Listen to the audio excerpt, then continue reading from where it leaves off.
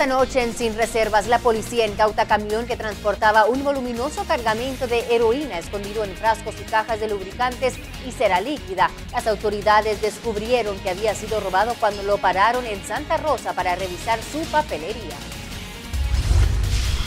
Y cerca de Tecpan, Chimaltenango, un automóvil es detenido por la policía y para sorpresa de todos llevaba escondidos casi 42 mil dólares en efectivo. Un guatemalteco y dos colombianos que viajaban en el vehículo son detenidos. En una tragedia vial en la zona 6, un camión embiste a un joven de 17 años y lo arrastra por el asfalto hasta parar en su desenfrenada carrera. Ningún intento por salvarle la vida tuvo éxito y el cadáver quedó a orillas de la carretera.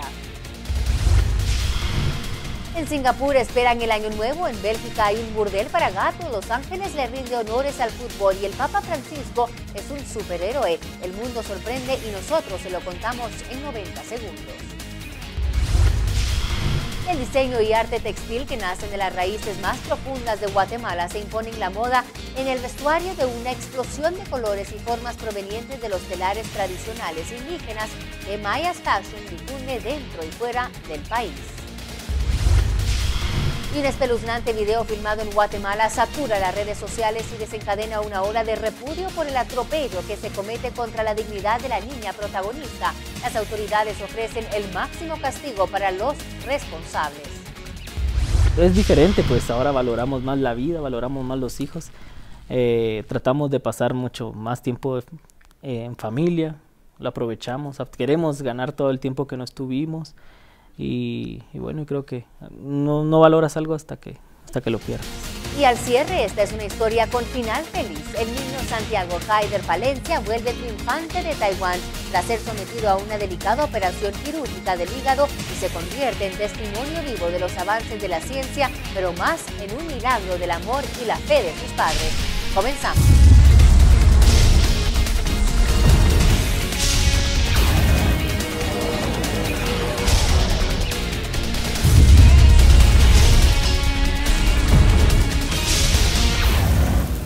Buenas noches, les saluda María René Varillas, gracias por acompañarnos en otra emisión de Sin Reservas, programa 477, hoy miércoles 29 de enero, esperamos que su jornada haya sido muy exitosa, como siempre estamos aquí para informarle de lo que pasa en el mundo y en Guatemala. Comenzamos, nadie puede negar que el ingenio caracteriza el narcotráfico, esta vez usaron frascos y cajas que aparentaban contener líquido de frenos, lubricantes y cera líquida, pero realmente era heroína. Al ver la presencia de la policía, el piloto del camión que transitaba el kilómetro 41 hacia Santa Rosa se detuvo y escapó a pie.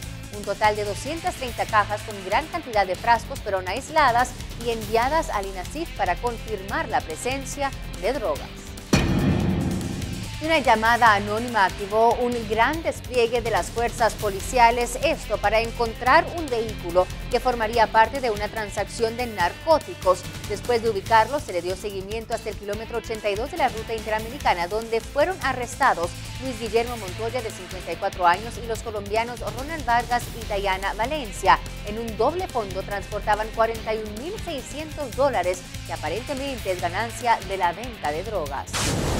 Estados Unidos sigue sufriendo ante las inclemencias del tiempo. Esta vez nieve, agua, nieve y hielo cayó y golpeó el sur de este país, lo que provocó que varios estados, incluyendo Luisiana, Mississippi y Carolina del Norte, declararan estado de emergencia y también provocaron el caos en las carreteras. Los conductores no están acostumbrados a estas condiciones resbaladizas, condiciones que se convierten en un verdadero peligro. Al menos cinco muertos en Alabama fueron atribuidas a la tormenta invernal que azotó la región de Texas a través de Georgia y las Carolinas.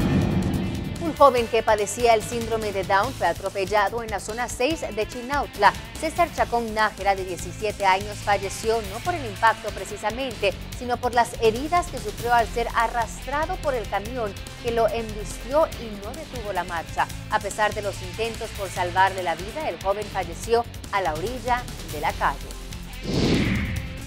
Bolivia bajo agua, eso es lo que han declarado las autoridades meteorológicas de ese país. están estimando que entre este miércoles y el jueves se registren lluvias con mucha intensidad y podría caer entre 60 y 100 milímetros de precipitación. El hallazgo de dos nuevos cadáveres eleva a 10 las víctimas del alud en Rurrentabaque, el viceministro de Defensa Civil confirmó el hallazgo de dos cuerpos más y la finalización de las tareas de búsqueda que comenzaron el sábado tras el alud causado por las fuertes lluvias. El gobierno de Bolivia ha decretado emergencia nacional y cinco turistas europeos fueron rescatados por equipos de alta montaña en Perú. Esto después de quedar atrapados y que también hubiesen perdido su camino a lo largo del río Apurímac. Los turistas fueron encontrados en un barranco a lo largo de un afluente en el camino a un parque ecológico en el sur de Perú. Todos se encontraban en buen estado de salud, sin embargo, dos estaban empezando a sufrir los efectos de la deshidratación. Estamos ya aquí listos para también acelerar el ritmo de la información. Vamos a sorprendernos en 90 segundos. En los días previos al nuevo año lunar, los elementos de suerte son de gran demanda en Singapur. Esto incluye las tradicionales mandarinas, así como la ropa interior roja que se crea aleja los malos espíritus y atrae la buena suerte, por lo que diferentes marcas lanzaron vistosas líneas de lencería para la también llamada fiesta de la primavera. Activistas pro derechos de animales abrieron un burdel virtual para gatos en Bruselas. Las luces de neón que muestran gatos virtuales reproduciéndose forman parte del proyecto que intenta llamar la atención sobre los peligros causados cuando los propietarios no pueden castrar a sus mascotas. Exposición es obra de un activista para quien la situación actual de los gatos en su país es una tragedia. El Museo de Los Ángeles rinde homenaje al fútbol con una exposición en la que destacan unas 50 obras de arte en honor al deporte y la Copa del Mundo que se celebrará en Brasil. La muestra refleja la naturaleza global del juego, desde la pintura de un artista obsesionado por el equipo inglés Manchester United hasta una fotografía de zapatillas de África y una réplica del estadio Maracaná de Río de Janeiro, donde se jugará la final del Mundial. En un zoológico de California, Linda, fiel a su instinto maternal, mantiene cerca a su bebé Aisha todo el tiempo, enseñándole las rutinas diarias de un simio. Desde el nacimiento, los orangutanes saben por instinto que deben sujetarse fuerte al cabello de la madre y así viajar de un lado a otro.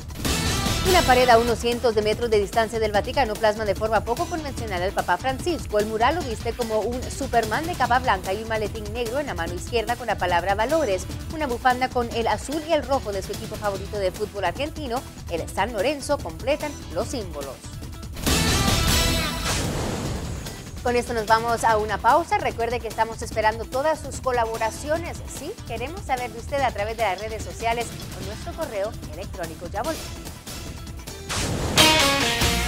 Si fue broma o venganza, un hombre sufre las consecuencias de una denuncia anónima sobre el robo de su propio vehículo. Cayó preso de forma equivocada y hoy relata la verdad que lo tiene de vuelta a la libertad. La moda maya se impone para niños y adultos con una exposición de colores y una empresa guatemalteca que se encarga de diseminarlo adentro y fuera del país. Es Maya Fashion cuyas pasarelas reclaman el orgullo de los tejidos nacionales. Y al cierre se llama Santiago y está de vuelta en Guatemala tras una operación de hígado en Taiwán. Su salud es producto de los avances de la ciencia médica, pero más del amor y la fe de sus padres. Le contamos el último capítulo de una historia de la vida real con un final feliz.